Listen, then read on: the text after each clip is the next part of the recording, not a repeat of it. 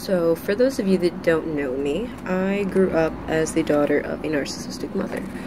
And if you don't know much about being raised by narcissists, it does a lot of fucked up shit to your head. And, like, you don't even realize it. I think that's the most fucked up part of it, is you grow up thinking all these weird things are just normal because that's how you were raised. And you feel crazy for feeling like they're fucked up at all.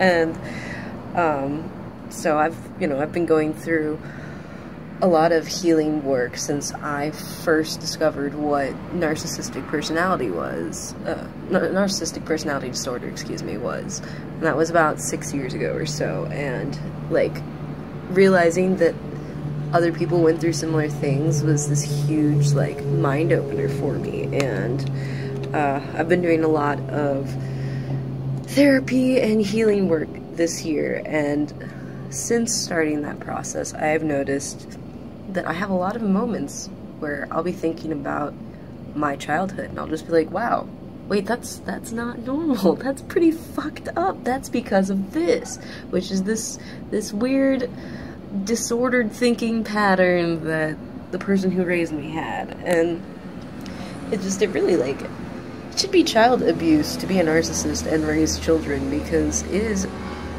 a mind fuck, really. Like,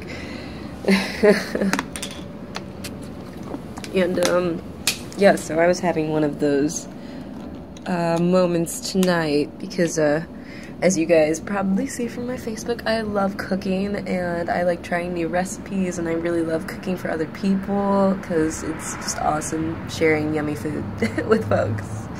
But um, yeah, so you know, I was making dinner tonight and I was having fun making it, and uh, you know, it it was my first time making my own chicken noodle soup from scratch, so it was pretty cool. But uh, you know, there's always room for improvement, especially with food. but um, I was thinking about how my mom made dinner for everyone my whole life, you know, every night, and it was this weird, like, unspoken rule where you had to tell her that it was good.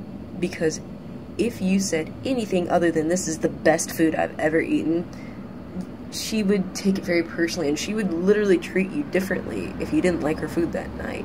She'd be very rude and make passive aggressive remarks and like that's not that's not normal. Like that is not what a mother cooking for her family should do. That's not how people should behave. That is weird. And, like, if you're cooking for people, I think it should be because you want to feed them, right? Like, that seems simple enough. And if you want to feed them, you want to make things that taste good for them. You don't want to make them suffer through terrible food. like, that's. Just, and, you know, and we all should be able to realize that we're not going to be some amazing chef the first time we cook something, or even the hundredth time we cook something. You know, we have to be looking for ways to improve if we want to improve. And yeah, I don't know. That was just a weird moment in my life that I wanted to share with people. And maybe I'll talk more about growing up with a narcissistic parent because it has been something that's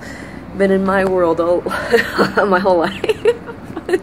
you know, awareness of it has been a recent thing. But, um, yeah, I don't know.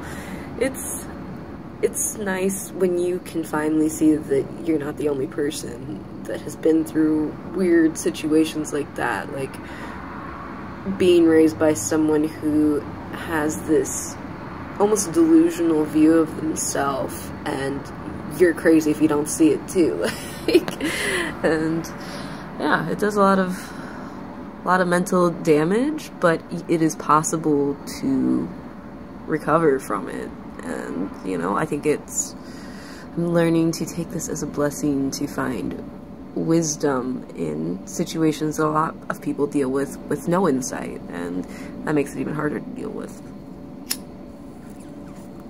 So, random thought. I hope this can help someone or someone who has grown up with a narcissistic parent can relate to it and feel a little less alone out there.